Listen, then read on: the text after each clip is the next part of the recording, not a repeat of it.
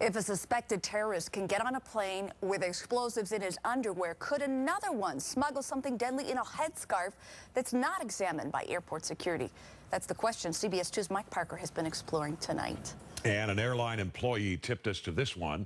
She said she was shocked at how passengers wearing religious headwear were just passing through security without removing them for inspection. We started looking into the matter.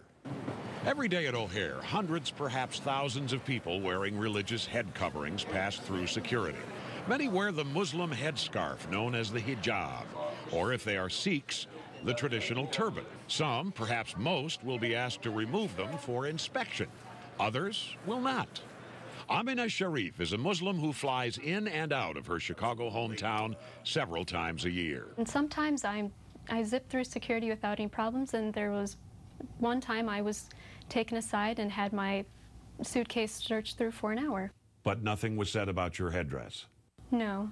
The guidelines for religious headwear searches are somewhat vague. According to the TSA, transportation security officers have several options for screening passengers who choose not to remove headwear. Notice their options. Passengers may be subject to additional screening. Officers may conduct a pat-down search. Nowhere does it say they must.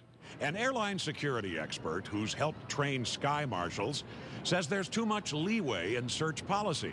All headwear, Larry Wansley says, should be searched every time, automatically, without exception. I think they should be treated as everyone else going through security. Would an automatic search constitute profiling in your in your eyes? I would agree that it would be profiling. In this day and age that we live in, we know obviously people are very security conscious at the moment, and uh, whether it's right or wrong to look at the Muslim community, um, I think certainly here um, and in Europe, where I'm from, the UK, I'd personally feel more comfortable if they were searched. In the interest of national security, I don't mind. Muslim Americans are also concerned about remaining safe, but we don't want to be singled out and should not be singled out because of our religious beliefs.